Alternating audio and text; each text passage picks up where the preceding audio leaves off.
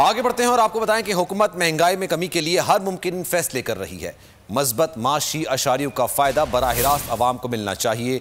कौमी दौलत लूटने वालों को नहीं छोड़ा जा सकता। वज़ीर अजम इमरान खान की जेर सदारत, हुकूमती रहनुमा और तर्जमानों के इजलास में मुल्की माशी सूरत हाल पर ब्रीफिंग दी गई।